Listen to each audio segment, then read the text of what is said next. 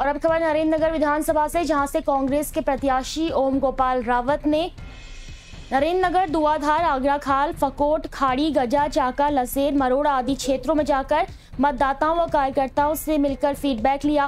कांग्रेस प्रत्याशी ओम गोपाल रावत ने कहा कि नरेंद्र नगर विधानसभा से उनकी जीत पक्की है और प्रदेश में भाजपा की विदाई तय है। कांग्रेस सरकार बना रही है। इस दौरान ओम गोपाल रावत के साथ वरिष्ठ कांग्रेसी नेता जगमोहन सिंह भंडारी, पूर्व ब्लॉक प्रमुख वीरेंद्र कंडारी, जिला पंचायत सदस्य दयाल सिंह रावत, कुंवर सिंह चौहान आदि मौजूद रहे।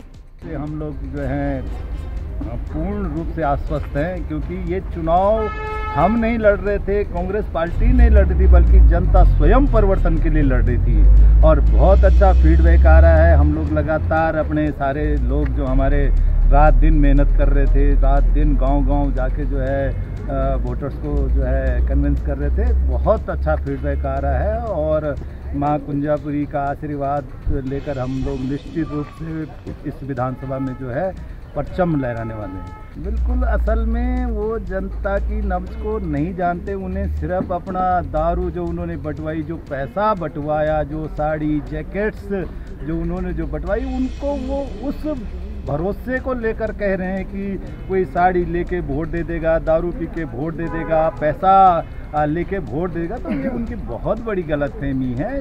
जनता आज पूरी तरह से समझ चुकी है, ये पैसा सब उन्हीं का था जो उनके विकास कार्यों में लगना था। वो सिर्फ़ इनके चंद चमचोने और वो जो उनके ठेकेदार थे, सिर्फ़ वो लोग अगर उनके भरोसे को लेकर वो बोल रहे हैं कि जो इन्होंने जो है पैसा बांटा तो पैसे से वोट आ गए लेकिन ऐसा बिल्कुल नहीं है।